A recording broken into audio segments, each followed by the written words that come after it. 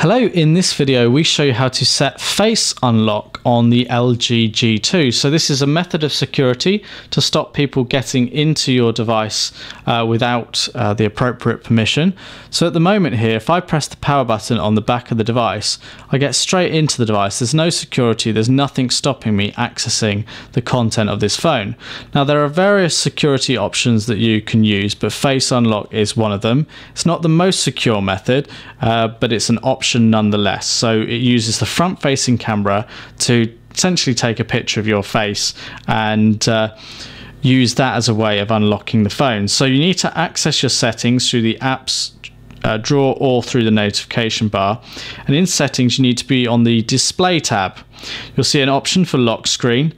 And you'll see here that we've got select lock screen as none at the moment. So that's how we can get straight into the device. If we tap on that, we then have the options. Now, if you have a different security option already enabled, you may have had to enter that to get to this screen. So we're going to choose Face Unlock and it basically explains Face Unlock on screen to you that uh, it's less secure than a PIN or password.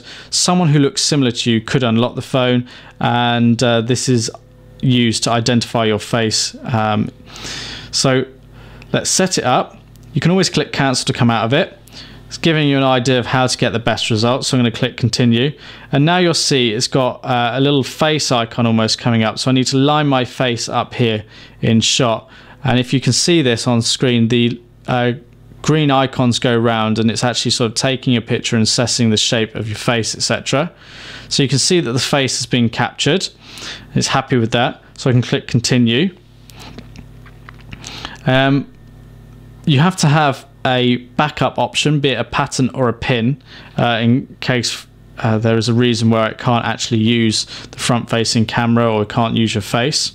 So let's enter a pin. You can either enter either one, uh, whichever you prefer. So it's got to be four digits. So I'm just going to go with the basic one, two, three, four. I suggest you go with something more secure. Once you're happy, click through. You need to enter it one more time.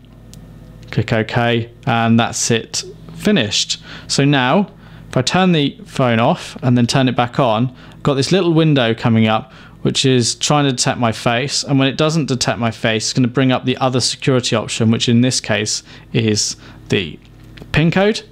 But if I try it again and now line it up with my face, it's detected it and I'm straight in. And that's how you set face unlock on the LG G2.